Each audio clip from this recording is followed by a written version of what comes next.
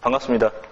어, 발송배정 기술사 이제 강의를 개설하게 됐습니다. 그래서 뭐 음, 제가 이제 항상 하는 거지만은 강좌 시작하기 전에 그 분석한 자료를 가지고 우리가 어떻게 준비를 해야 되는지 그 부분을 좀 설명을 드리겠습니다.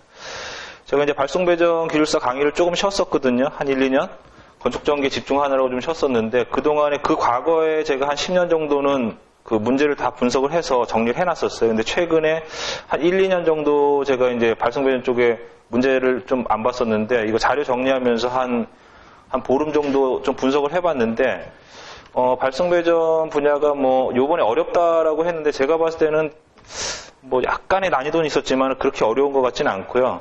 음, 뭐 발송배전 분야는 전통적인 어떤 그 어떤 그 공학적인 요소가 강하기 때문에 그런 쪽에서 문제가 많이 나왔고 음, 큰 흐름에서 봤을 때 약간의 변